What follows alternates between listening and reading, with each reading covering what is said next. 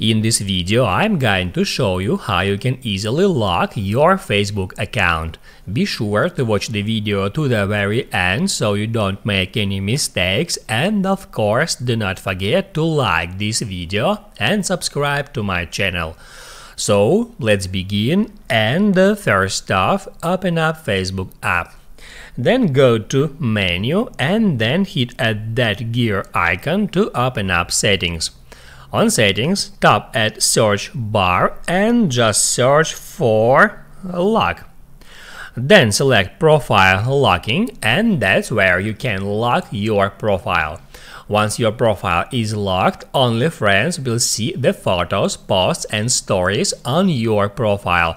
However, people will still be able to search for you and send you friend requests. If you want to lock your profile, just hit at that button and that's it. Now you can write down in the comments below if you have any questions about that tutorial, hit the like button if you liked that video and I see you in the next one.